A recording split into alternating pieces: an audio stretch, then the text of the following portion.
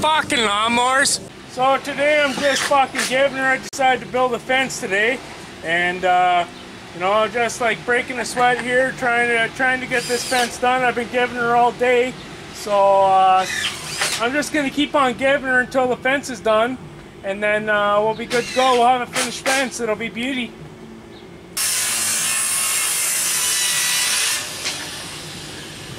Good job, boys. You guys are doing good. Keep up the good work. Thanks, bud.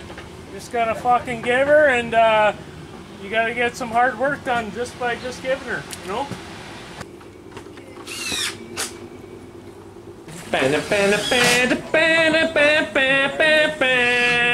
Fuck yeah. right on.